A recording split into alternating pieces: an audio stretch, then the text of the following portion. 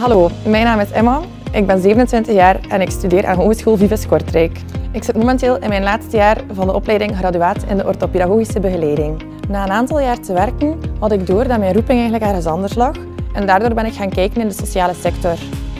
Um, ik had een vriend die deze richting eigenlijk al volgde en toen ik uh, zijn cursussen bekeek, dacht ik wel van tja, eigenlijk zou dat ook wel iets voor mij zijn. Het leukste aan deze richting vind ik de combinatie van uh, stage doorheen alle semesters en lessen. We hebben één à twee lesdagen in de week en dit ook steeds in iets kleinere klasgroepen, waardoor er best wel genoeg tijd is voor één-op-één begeleiding van de docenten. Um, het leuke van de stage is ook dat al de theorie dat we krijgen, dat we dat direct kunnen toepassen in de praktijk.